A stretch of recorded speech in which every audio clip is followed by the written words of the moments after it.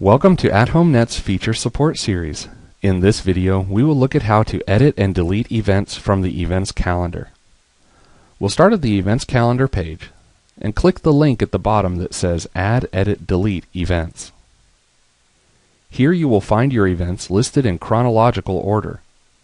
Recurring events are labeled and easy to identify. And buttons at the bottom that you can use to add a new event, edit an existing event, or delete an existing event. To delete an event, you will need to select the event and then click the Delete button. If this is a recurring event, you will have the option to delete just the single occurrence of this event or delete all occurrences of this event. Just choose the option that you prefer. To edit an event, Again, we will just select the event that we'd like to change and then click the Edit button.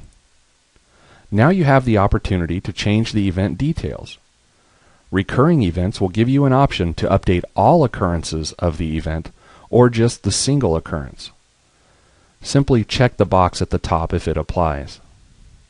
Now you can make your changes to the specific details of the event. When you're finished, just scroll to the bottom and click the Save Changes button. Once your changes are successfully saved, your information will be reflected on the events calendar. I hope that you have enjoyed this video. You can view more of our training videos online at www.youtube.com forward slash at home net.